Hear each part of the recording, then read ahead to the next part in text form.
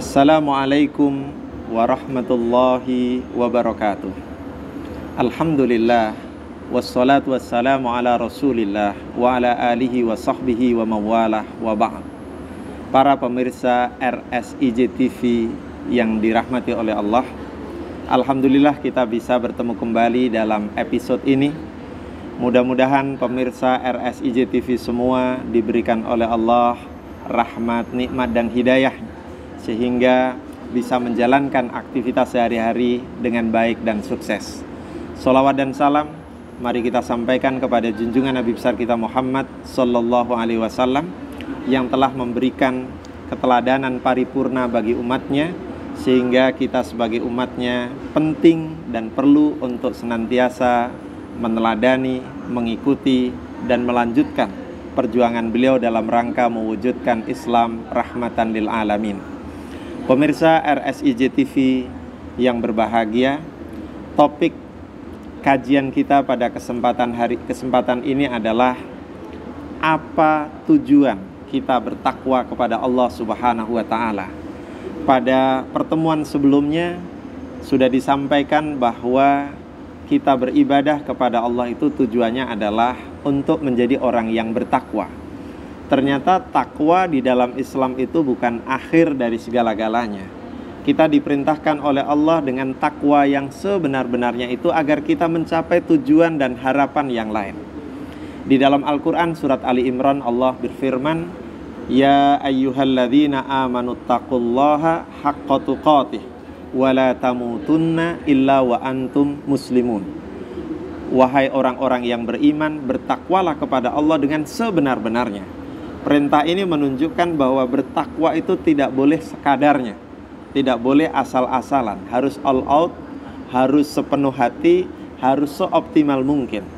Mengapa perintah takwa ini dikaitkan atau diikuti dengan perintah agar takwanya tidak asal-asalan atau sekadarnya? Karena rupanya ada tiga, ada tiga tujuan dan harapan yang bisa kita raih dari takwa kita kepada Allah Subhanahu wa Ta'ala. Yang pertama, kita diperintahkan oleh Allah bertakwa agar kita menjadi orang-orang yang beruntung. Di dalam Al-Qur'an Allah Subhanahu wa taala berfirman, "Ittaqullaha atau wattaqullaha la'allakum tuflihun." Bertakwalah kepada Allah, mudah-mudahan kalian dengan takwa itu menjadi orang yang beruntung. Apa itu orang yang beruntung atau siapa uh, orang-orang uh, yang beruntung itu? Orang yang beruntung itu adalah orang yang senantiasa hidupnya diwarnai, diisi dengan hal-hal yang menguntungkan bagi dirinya dan menguntungkan bagi orang lain sehingga keberuntungannya itu membawa keberuntungan di akhirat. Dengan kata lain, orang yang beruntung itu adalah orang yang hidupnya bahagia di dunia dan juga bahagia di akhirat. Selamat di dunia, selamat juga di akhirat itulah orang yang beruntung. Sebaliknya orang yang tidak beruntung alias buntung orang yang celaka. Mungkin celaka di hidupnya di dunia, lebih-lebih celaka di akhirat. Oleh karena itu perintah takwa di dalam Al-Qur'an harus bisa melahirkan optimisme dan harapan untuk menjadi orang yang beruntung. Betapa tidak beruntung orang yang bertakwa itu selalu hanya takut kepada Allah Orang yang bertakwa itu selalu menjalankan perintah Allah dan menjauhi larangannya. Orang yang demikian ini pasti beruntung di mata Allah dan juga insya Allah beruntung di mata manusia. Karena orang yang menjalankan semua perintah menjauhi larangannya itu berarti dia menjadi orang yang selalu mendekatkan diri kita kepada Allah, mendekatkan diri kepada Allah Subhanahu wa taala. Itu yang pertama. Bertakwa diharapkan menjadi orang yang beruntung baik di dunia maupun di akhirat. Yang kedua, para pemirsa RSIJ TV yang budiman, perintah bertakwa itu diharapkan bisa meraih rahmat dari Allah Subhanahu wa taala. Allah berfirman, "Wattaqullaha la'allakum turhamun." Ini yang kedua. Bertakwalah kepada Allah Mudah-mudahan dengan takwa itu kalian mendapatkan rahmat dari Allah Subhanahu wa taala. Tidak ada yang lebih berharga hidup di dunia ini selain mendapatkan kasih sayang dari Allah.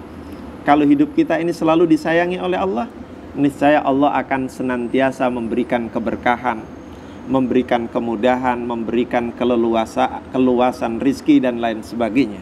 Rahmat Allah tidak hanya kita harapkan diberikan di dunia, tetapi juga di akhirat. Bahkan kita nanti bisa mendapatkan ampunan, mendapatkan surganya Allah itu karena kita mendapatkan rahmat Allah Subhanahu wa taala. Jadi bertakwa mengantarkan kita untuk mendapatkan rahmatnya. Yang ketiga, pemirsa RSIJ TV yang berbahagia, bertakwa itu diharapkan oleh Al-Quran agar kita menjadi orang yang pandai bersyukur. Wattaqullaha la'allakum tashkurun.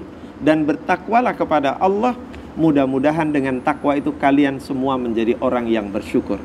Esensi bersyukur itu adalah orang yang membuka mata hatinya untuk mau menerima dan mengakui semua yang diberikan oleh Allah kepada kita.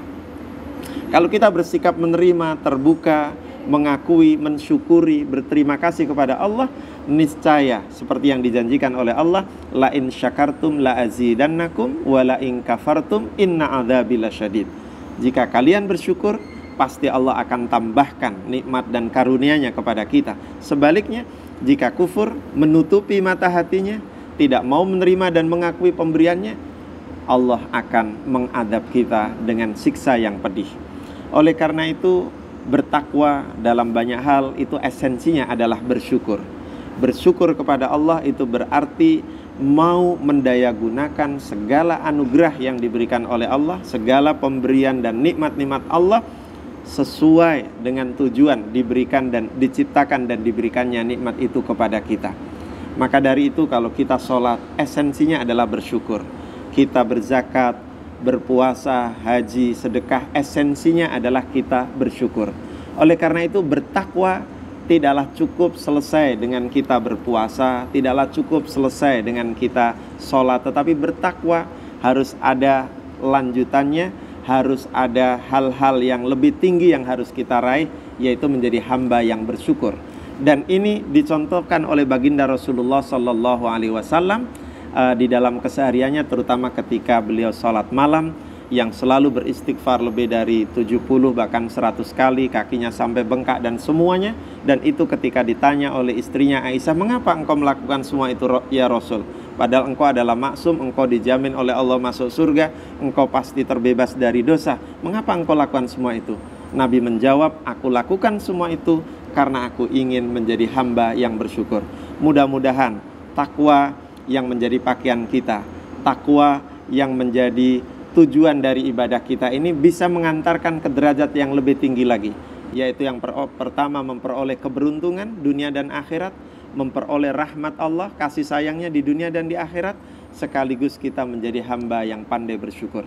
Kalau hamba itu sudah pandai bersyukur, insya Allah hidupnya akan tentram, damai, bahagia dunia dan akhirat. Demikianlah yang dapat disampaikan dalam acara yang baik ini. Mudah-mudahan pemirsa RS IGTV dapat mengambil hikmah dan manfaat dari acara ini dengan harapan ke depan kita bisa meningkatkan kualitas iman takwa kita kepada Allah Subhanahu wa taala. Nasrum minallah wa fathun qarib wa basyiril mu'minin wassalamualaikum warahmatullahi wabarakatuh.